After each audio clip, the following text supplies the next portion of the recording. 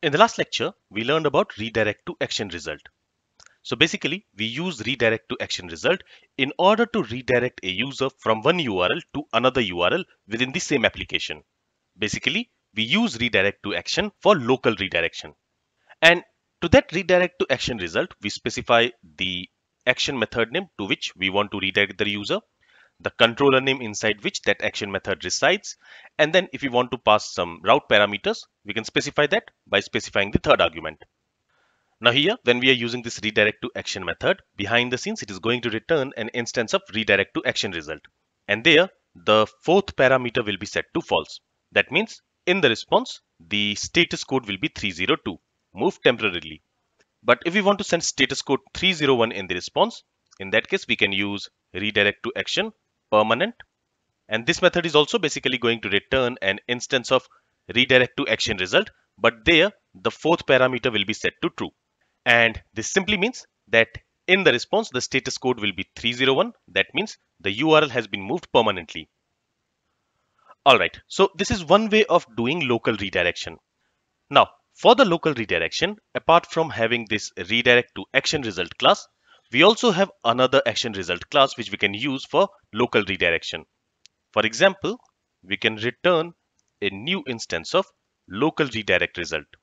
And this local redirect result, it is also used for local redirection. That means redirection within the same application or within the same domain.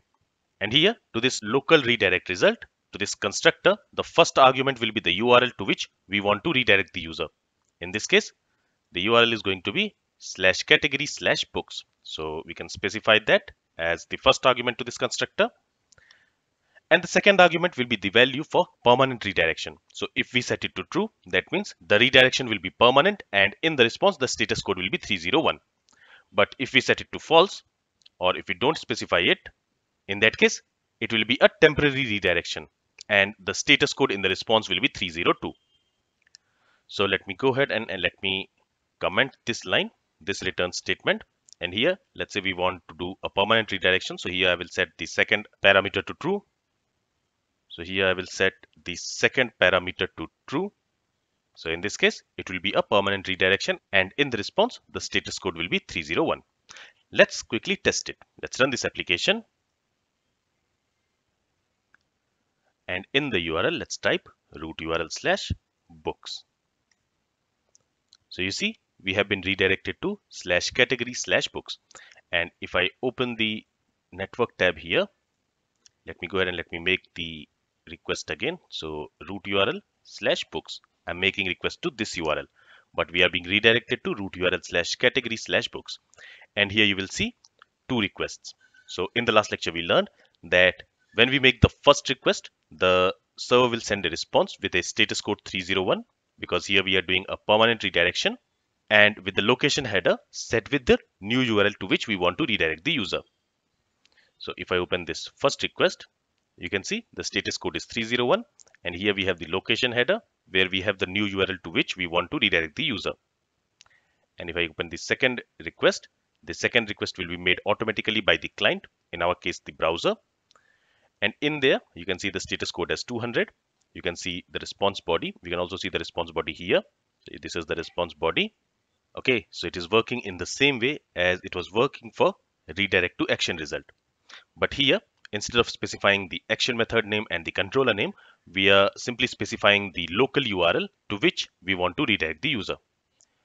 Now when we use redirect to action result there we also have an option to pass some route parameters. But when we are using this local redirect result how can we pass a route parameter? Let's try to understand it.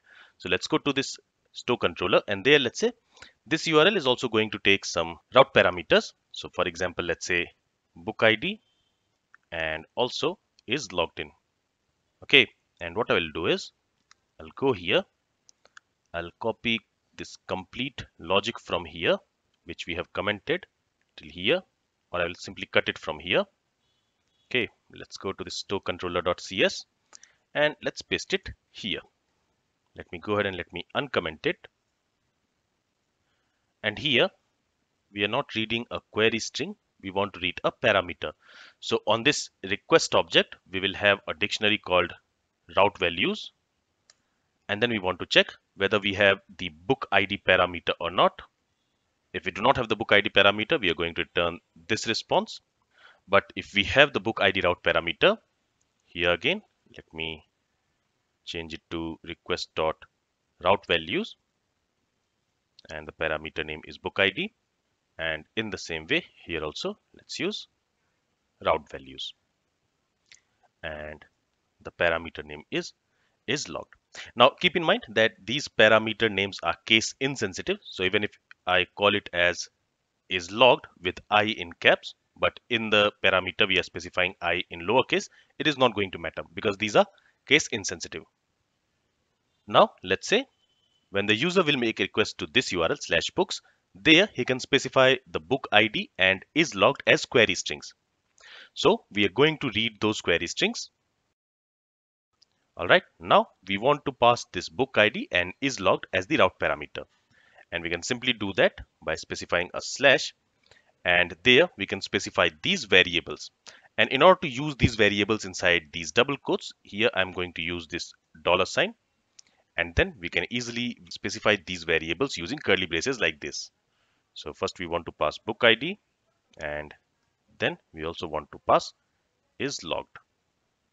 And in the result, let's go ahead and let's specify some content where we can also show book ID and whether the user is logged in or not. So here let's say user logged equals and here again let me go ahead and let me use a dollar sign before this so that we can use a variable inside these double quotes and here I want to use is log variable. So what I will do is I will cut this statement from here.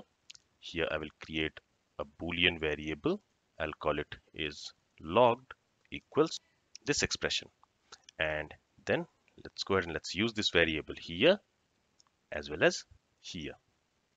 Okay, and here we have an extra closing parenthesis and here we have missed that closing parenthesis. All right, and let's also specify the book id so let's say book id equals and then the book id variable. So let me go ahead and let me copy this book id variable. Let's paste it here. All right. Now let's go ahead and let's run this application. Let's go to slash books and then let's specify some query strings. So let's say book id equals 101 and is logged equals true. Let's press enter. So you see it says user log true and book ID 101. And if you notice the URL, it is slash category slash book slash 101 slash true. Okay, so here we have been redirected to this URL. So this is how you can pass route parameters when you're using local redirect result. Now keep in mind that this local redirect result and redirect to action result, they can be used only for local redirection. That means you can use these action results when you want to redirect a user from one URL to another URL which exists in the same application, in the same domain. You cannot use them to redirect a user to some external website. For example, from your application to google.com or from your application to facebook.com or any other external website. You cannot use these action results. And by the way, we can also replace this new instance of local redirect result with local redirect method. And there we don't need to specify the second parameter. So when we use local redirect, in that case, it is going to return an instance of local redirect result. And there the status code will be 302. But if you want to redirect permanently, in that case, you can use local redirect permanent. Okay. So as I mentioned, we can use local redirect result or redirect to action result only for local redirection. That means to redirect a user from one URL to another URL which exists within the same application, within the same domain. But if we want to redirect a user from one URL to another URL and that URL exists outside of the application, outside of the domain which our application is using, for that we have another action result called redirect result. So here we can say return redirect result. Okay and since it is a class we need to use a new keyword before it because we want to instantiate this redirect result class. And there we can specify the external url for example here i will say www.google.com let me also use https before this. Okay, and then we can also specify whether this redirection should be permanent or temporary. If we want permanent redirection, we can specify true. Otherwise, we can specify false or we can omit this second argument. In that case, it will be a temporary redirection. So let me go ahead and let me comment this line. Here, we want to make a temporary redirection and we want to redirect the user to google.com whenever the user types slash books in the URL. Let's run this application and let me go ahead and let me make a request to root URL slash books and now it should redirect us to google.com. Okay, so for external redirection, you can use redirect result and then you can specify the URL, the external URL to which you want to redirect. Now let's also see if we can use this redirect result for local redirection. So let me copy this URL. Let me specify it here. And since we are using this book ID and is logged variables, let me also put dollar here. Okay, and let's go ahead and let's run this application. And in the URL, let's type root URL slash books. And then let's also specify some query string. So book id and is logged. And let's press enter.